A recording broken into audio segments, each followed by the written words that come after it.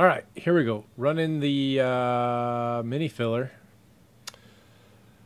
for optic case number three and random teams. Uh, top spot.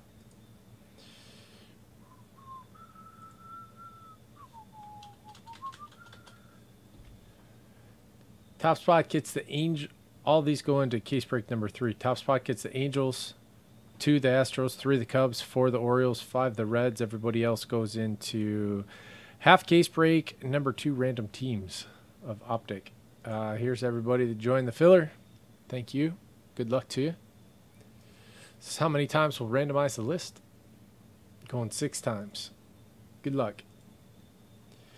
One, two, three, four, five, six, and final. There it is. Air Gaber on top. Winner, winner, chicken dinner. Air Gaber with the Angels. The Fro, Astros, B. Gannon, Cubs, Big Hurt, Orioles, and Reds.